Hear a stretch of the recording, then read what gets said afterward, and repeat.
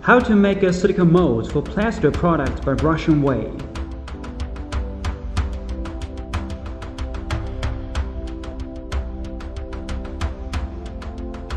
Prepare the required tools, polish and handle the original model.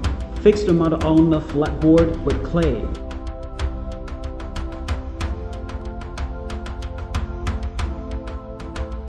Choose the type of silicone rubber which depends on the application, structure, and the size of the model.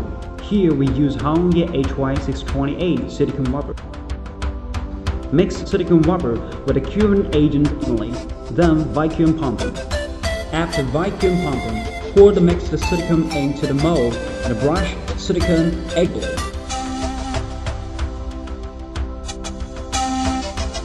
After 15 minutes, brush second layer of silicone.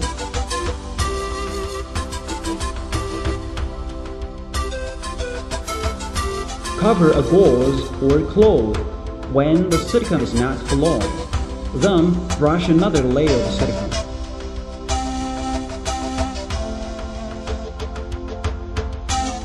Make some tunnels to keep the mold easy to match.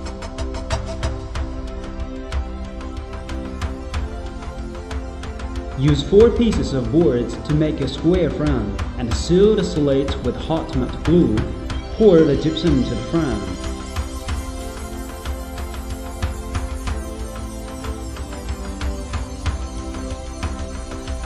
Take out the outer mold after gypsum is cured. The process is done.